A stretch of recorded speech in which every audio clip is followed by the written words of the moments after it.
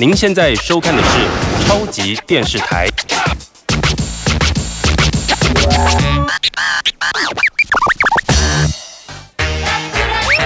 请你跟我这样过。那种红根本不是健康的红润，而是一种病态的红色。对，所以那这个这个到后面这这些阶段，大概现场也就只有 你干嘛看事情？你怎么这样？我是说，大概只有素心可以讲出现在在社会上的案例了。没错，天哪，你们不要误会，他很年轻啊，才二八啊。没 关系，我们是以智慧取胜的。是是是。所以在这里就要跟大家讲，其实现在不论你是二八还是什么三八四八都一样，其实他们都说现代人其实早老初老来得早，为什么呢？这是以前的说法，什么三七二十一，现在小朋友从小就开始用电脑，你都不知道他现在最流行的一句话叫电脑脸。电脑脸是什么呢？就是你长时间呢，你看呢，你可能就是一直低头看东西，你低头，所以你脖子的细纹呢，肯定比那个妈妈背都更早出现。那另外你眼睛都持续在用力，所以你额头抬头纹呢，比你姑姑还早出现。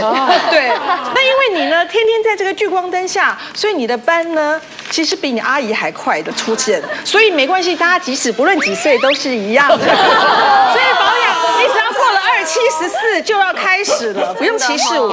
哎呦，哦，再讲一个更恐怖了。之前有一个人呢、他就有一天呢、就跟他太太说：“我跟你讲，我觉得我应该得了很严重的疾病了。”太太说：“你怎么了？”他说：“我最近眼睛看东西啊，前面都有阴影。”他说前面有阴影是什么样情况？他说我们很奇怪哦，因为他他是做银行业的嘛，所以他常常要低头披躬。他说我就是很奇怪，我一低头啊，然后呢很多东西遮住看不到哎，我觉得我可能眼睛有什么问题了。他太太就看着他冷笑一声说：“哼。”你那个卧蚕都已经长得像乌龟那么大了，当然是遮住了。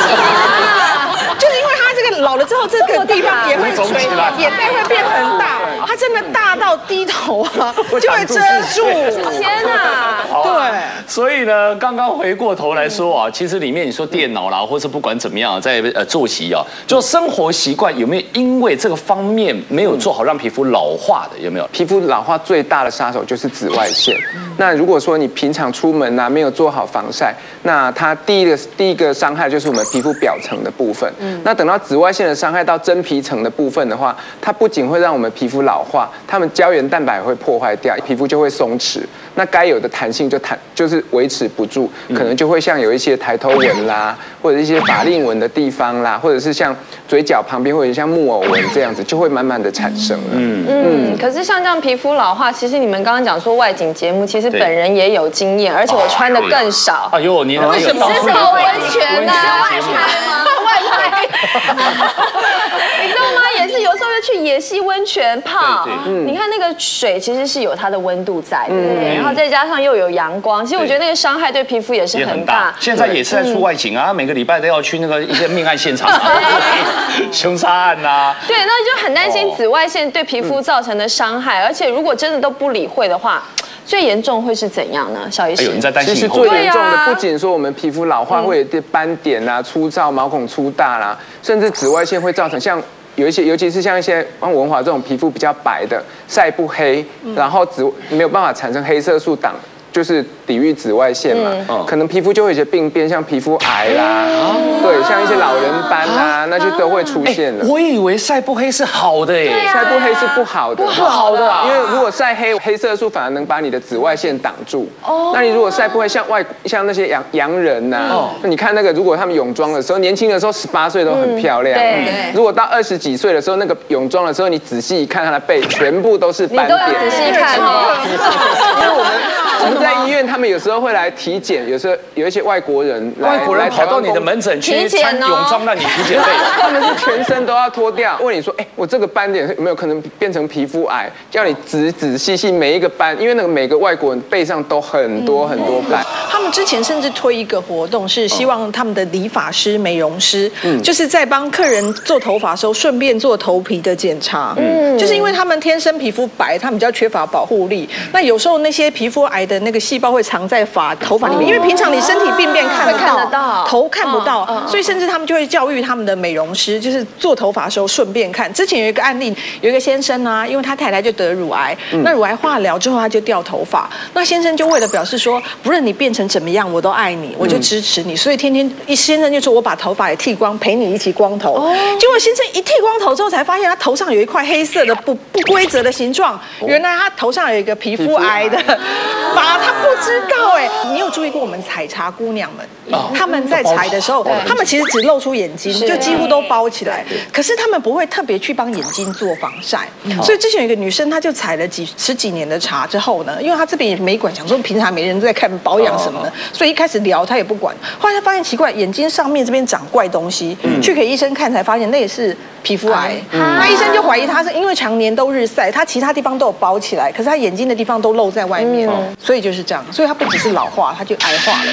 所以要怎么样子预防皮肤老化嘞？你们有 paper 吗？像我老公，他有之前有去打那个飞说，因为他脸上坑洞很多，打完之后那一段时间，医生就跟他讲说，你这个礼拜如果多吃一点胶原蛋白的东西，像猪脚啊、鸡脚冻啊、什么呃猪皮呀，这这些东西对你的皮肤会很好，就是会会帮你补充胶原蛋白，你到时候恢复会比较好一点。所以我老公一知道之后，他就跟我讲说，走，面瘫也吃什么猪脚冻，然后吃到哪里都是猪皮，对，然后在家也要煮那个鸡脚。后来我就想说太麻烦，因为我真的也没时间去煮。后来我就吃那个胶原蛋白饮。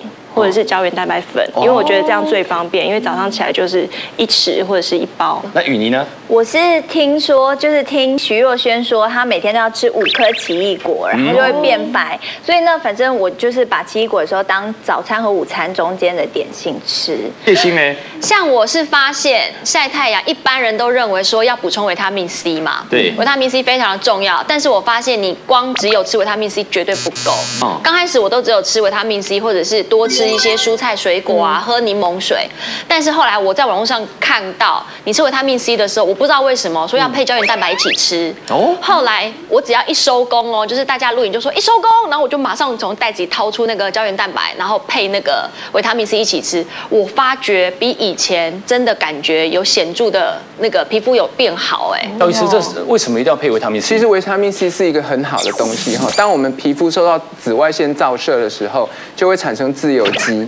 那这个维他命 C 就会跟这个自由基结合，结合之后，它就自由基就不会伤害我们的胶原蛋白。那除了这个之外哈，我们皮肤胶原蛋白其实并不是说像像佳姐说刚才吃猪脚就。猪脚的胶原蛋白就变成你的胶原蛋白，你的必须吸收那个猪脚的胶原蛋白之后，把它切成一段一段的，然后在皮肤再制造出你属于你自己的胶原蛋白。那这个维他命 C 呢，在制造胶原蛋白的过程中，也有占有很重要的地位。嗯，所以你除了吃单吃胶原蛋白是没有效果，没有那么的好，你必须搭配吃维他命 C，那才能制造出你的自己属于自己的胶原蛋白。所以我刚才说我吃奇异果，如果我再加上胶原蛋白，就是完美的，对不对？有时候你单吃是单吃维他命 C，当然是也有效果，但是没有效果没有那么的好。所以如果你搭配胶原蛋白的话，你可能就可以不用去打那个，减缓你那个去打的时间。下礼拜你们不要吓到哦。经常就是蝉蜕、蝉的壳哦，对，这个现在很贵啊，对，所以现在只要到中药材，到山上树下，你看到看到蝉壳，我赶快剪下来。哎呦，对自己吃吃吃剩还可以拿去卖钱哦，你是开玩笑的吗？那以后把我儿子甲中脱的壳都拿来，不是甲虫。你想要预防老化小凤位？